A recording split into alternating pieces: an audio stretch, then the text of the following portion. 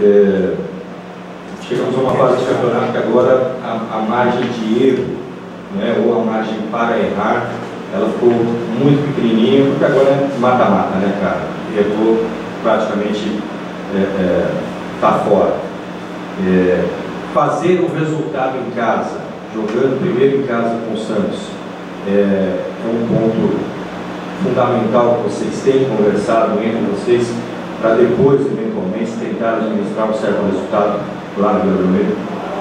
É, boa tarde. A gente sabe que no jogo de mata-mata, da forma que é, é um jogo de 180 minutos. Eu acho que o primeiro tempo vai ser aqui. Né, eu creio que uma, uma vantagem né, de vitória com certeza vai ser bastante né, importante para que a gente possa, se Deus quiser, dentro da, da vida, conquistar nossa passagem. Então, é, como você falou, margem de erros, né? mas é, vamos buscar também aumentar a nossa margem de acesso também, né? Eu creio que a equipe né, tem criado também, né, assim como o professor falou com a gente, né? Se a equipe adversária fosse 10 vezes o nosso gol, se não fosse apenas uma na, no gol deles, aí seria preocupante. Mas eu creio que realmente é baixar essa margem de erro e aumentar a margem de acertos. Boa tarde, Thiago. É...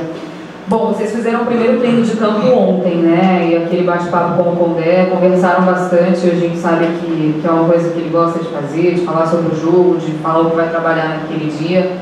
Uh, o que, que você, como é que está sendo essa semana de, de, de, trabalho, pensando em Santos? O que, que vocês vêm trabalhando com mais intensidade nesse momento? É, ontem foi mais um, trabalho técnico ali geral com, com, os atletas. E a partir de hoje vai entrar na parte tática né, para que a gente possa, né, se Deus quiser, surpreender o Santos. É, eu creio que a semana vai ser bem boa, esse restante de semana já está já na quinta-feira, mas eu creio que os estudos estão sendo feitos, né, que é normal no futebol hoje, e eu creio que escutar, escutar o que o professor tem e o que, ele vai armar para essa partida de domingo. Eu creio que os atletas têm assimilado bem o que ele tem pedido no, nos jogos. Então vamos aguardar o que ele tem para nos orientar hoje e colocar em prática né, durante esses dias de treinamento para que no jogo a gente possa, né, se Deus quiser, fazer um grande jogo. Tiago, o Botafogo tem por característica ser muito consistente no, no sistema defensivo, né? toma poucos gols, sofre poucos gols. É, mas a gente chegou a um ponto no campeonato que agora os que ficaram têm um aproveitamento muito bom é, no ataque. Uh, esse sistema defensivo vai ser colocado à prova agora a cada partida. É, é momento de, de é, se aprimorar né, e voltar aquela coisa mais de erro, de acerto, mas fazer o possível e impossível para não errar, porque o jogo começa 0 a 0 né, cara? Se não tomar nenhum gol e fizer um, você tem a, a propensão de vencer, mas não tomar hoje é muito mais importante do que fazer, ou você entende que tem que haver o equilíbrio exato? É, o não, não tomar gol realmente é de extrema importância nesse momento, né? Principalmente dentro de casa.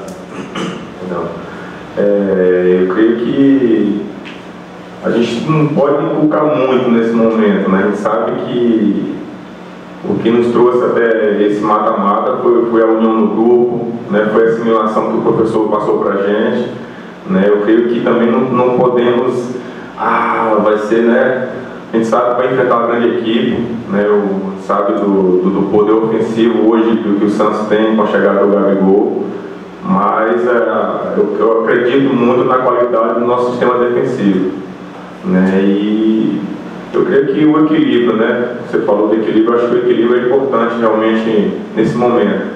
Né? Você buscar não tomar gol, que isso aí é, vai ser o nosso objetivo da defesa ali como um todo, né? Eu falo defesa, mas começa no ataque também, né? Porque se não, o ataque ali no meio de campo não, não ajudar na marcação, com certeza lá atrás complica bastante. Assim como uma boa saída de bola de trás também ajuda o ataque. Então é, é o coletivo realmente. Mas eu creio que vamos buscar o equilíbrio nessa partida e não vamos nos inculcar muito com, com essa situação que pode nos atrapalhar durante a partida. Até falando isso, é, o Santos tem o Gabigol. É, é o cara que já fez quatro gols. E com ele em campo, o Santos não perdeu nenhuma partida até agora, né? Venceu três, empatou uma. É, é uma preocupação a mais para vocês? Como lidar com isso, com ele, na verdade? É, a gente sabe que é, futebol é coletivo, né? A gente sabe também que existe peças dentro do, do, do, do time que faz a diferença. Realmente ele chegou com muita fome ao Santos, mas eu creio que quando ao mata-mata você tem aquela. Você não vai de qualquer jeito, né? Eu creio que nossa equipe estiver bem organizada pode neutralizar essa chegada na bola no Gabigol. Né? Mas é, também acredito na nossa força, no, com a bola no pé, no, no trabalho de, de passe ali. Eu creio que nossa equipe tem essa qualidade para sair jogando. Eu creio que vai ser um, um bom jogo, bem equilibrado. Espero que a gente saia vencedor. Para encerrar da minha parte, duas em uma. A primeira, bola quando chega no goleiro, ela já passou pelo ataque, já passou pelo meio de campo, já passou pelos volantes, já passou pelas laterais, já passou pela zaga. Goleiro é a última instância. E essa última instância, quando tem chegado em você, é, você tem sofrido poucos gols, tem feito boas defesas que ajudaram muito o time a, a se classificar. Porém, é, é, é, uma curva, né?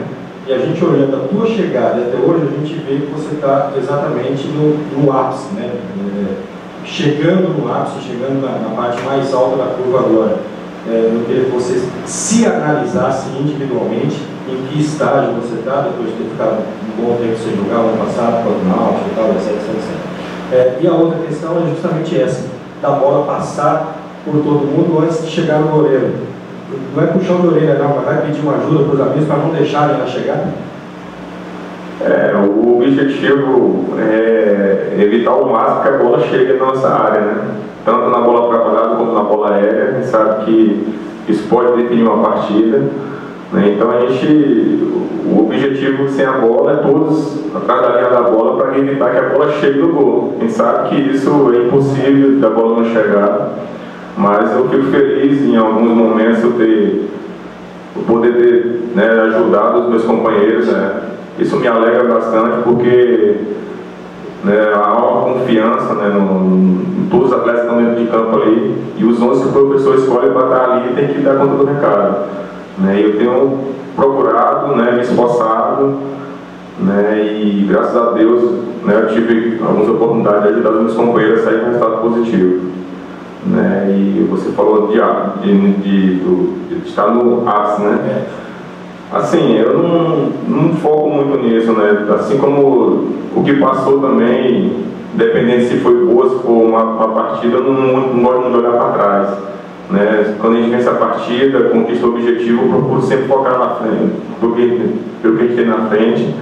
Né? Então, não, não, não fico muito procurando, ah, estou bem demais. Não, eu creio que quando você pensa dessa forma, é muito perigoso.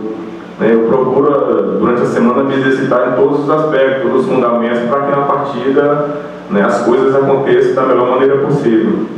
Porque você não sabe o que vai acontecer. Né? Às vezes você foca muito num, fator, numa bola aérea, num trabalho de, sei lá, um corte, uma enfiada ali, chamado facão, né? Então você não sabe o que vai acontecer. Então é melhor você trabalhar todos os aspectos e estar precavido para o que deve durante a partida.